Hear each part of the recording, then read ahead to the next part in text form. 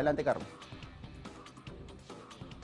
¿Cómo estás, Paco? Muy buenos días. Así es, hemos llegado hasta la feria del quinto Festibrain Perú 2019 con el apoyo pues, del Ministerio de Agricultura y Riego, donde vamos a conocer un poco sobre esta cerveza que nos han traído nuestros amigos del Brain, hecha netamente de café. Precisamente me encuentro acompañado de eh, José Guaraca, presidente del comité organizador de esta feria. ¿Cómo está? Buenos días, bienvenido a Panamericana coméntenos por favor sobre esta cerveza que es eh, muy poca conocida en realidad aquí en la capital. Sí, lo que pasa es que efectivamente, gracias Carlos, efectivamente lo que pasa es que los productores eh, de toda la zona BRAE estamos tratando de darle valor agregado a todos nuestros productos, en este caso el, café, el cacao, y Satipo pues nos eh, representa con unas cervezas artesanales muy deliciosas y completamente fuera, fuera de serie.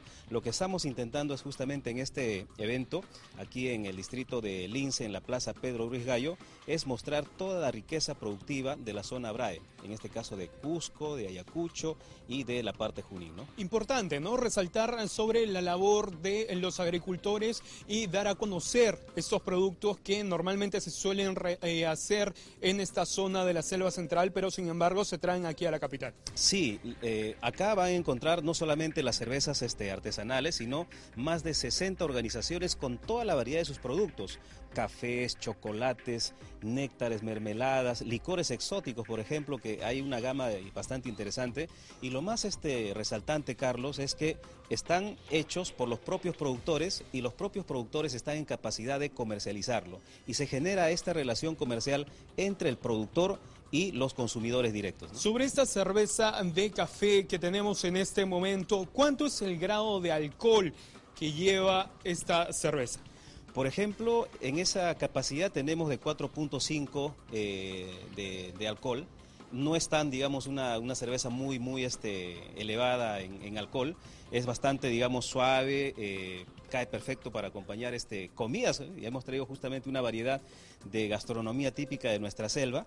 Y no solamente va a encontrar cerveza, por ejemplo, ahí pueden encontrar una variedad completa de licores exóticos a base de maracuyá, a base de de, cacao, de café, de, piña, por ejemplo, destilados de piña, reemplazando un poquito, digamos, eh, los tradicionales destilados de la uva, ¿no? Allá tenemos grandes cantidades de piñales y los productores... Sí, Paco, te escucho. Muchas gracias por esta información valiosísima en verdad y yo creo que es una buena oportunidad para conocer algunos productos que vienen del Braem y que por supuesto pueden significar un gran cambio y una buena forma de probar estos productos riquísimos y muy variados. La cerveza artesanal está muy de moda, así que dése una vueltita por esta feria en Lince y aproveche esta valiosísima oportunidad. Gracias por la información. Nosotros vamos a seguir con más aquí en